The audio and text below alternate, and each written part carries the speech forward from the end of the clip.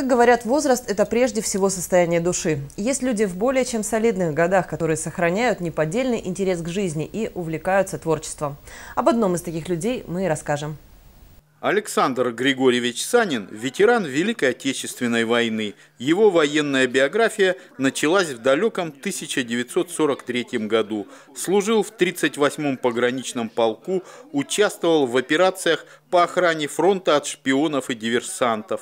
Прошел Варшаву, Краков и Лейпциг. На гражданке работал бульдозеристом, экскаваторщиком на стройках. У него много внуков и правнуков, есть и праправнуки. Несмотря на почтенный возраст, а Александру Григорьевичу 92 года, он по-прежнему полон сил. Много времени уделяет любимому занятию – вышиванию картин цветной нитью.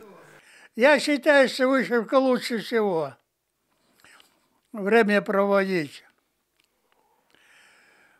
Вот за, 4, за 6 лет 10 картин я вышел. Две подарил э, дочери, сестре, а остальные вот эти здесь.